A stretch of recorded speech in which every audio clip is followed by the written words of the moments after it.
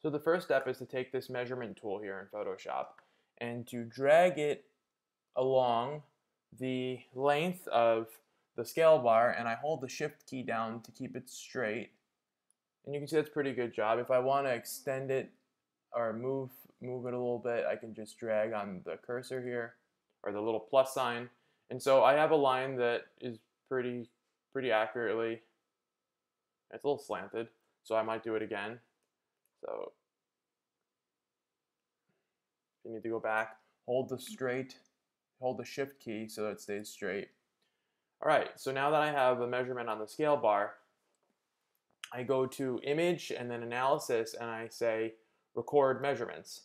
And so it tells me that the length of that um, bar is 231 something.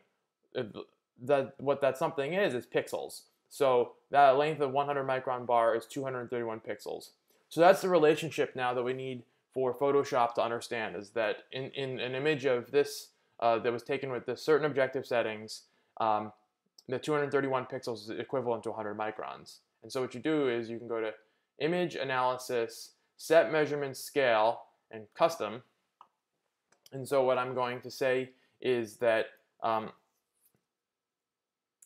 231 pixel length is equal to 100 what microns? And it could be anything.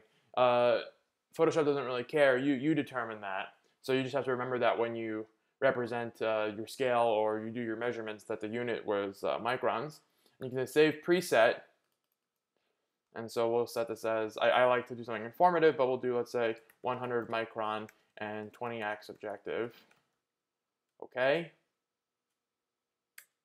and so now you have that scale set, Zebras, okay? And so that's what that's what Photoshop will use for now on. So if we were to go back and measure again, so I can just press record measurement, now you see that the length is actually 100 um, because it because it's using that new relationship, and you can even see that here in the scale factor. So now that you've set your 100 micron um, scale, you could use that to measure other things so we go record measurements, and that will tell you the size of that cell. So you can see how useful this will be uh, later on.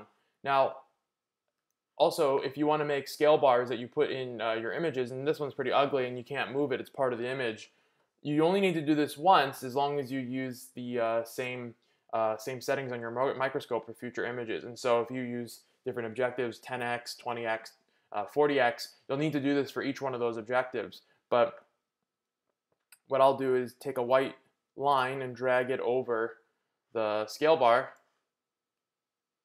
and that will then be my 100. Now if I want to uh, make others that are still in the same scale but of uh, different lengths, I can give this an inform. Let's say I want to make it uh, half the size, so 50 microns.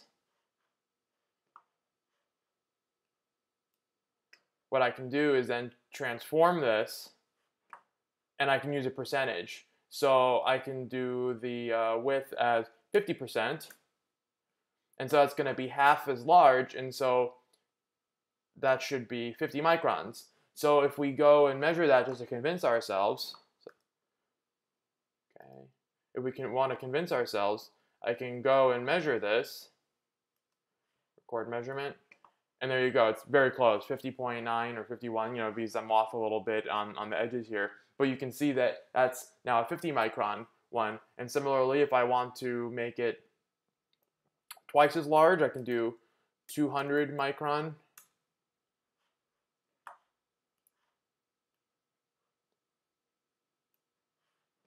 And then do a transform. And actually, in this case, since I'm starting from 50, I would have to do it not by just uh, 100%, but actually 200%.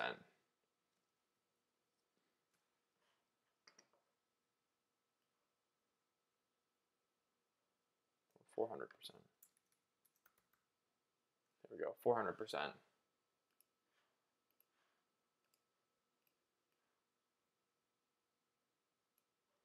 And so just again to convince ourselves, measure, record, and it's just about 200 on the head. So you can then take the uh, you can take these um, lines and put them in another file somewhere and then just use them again as long as you remember what they are. And that's why I like to give them informative names.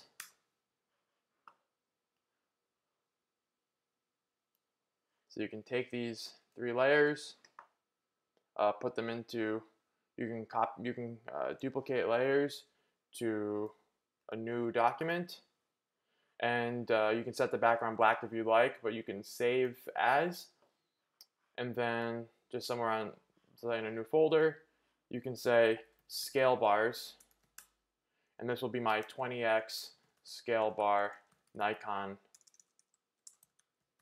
set.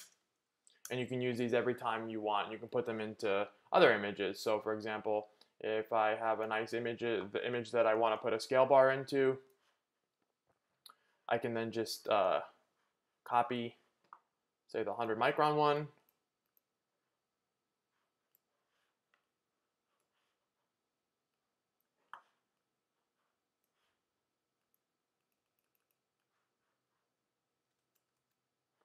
copy that, and go put it in my nice image. Oh, wrong thing. Well, you get the idea. Anyway, so that's how you do scale bar setting in, in Photoshop.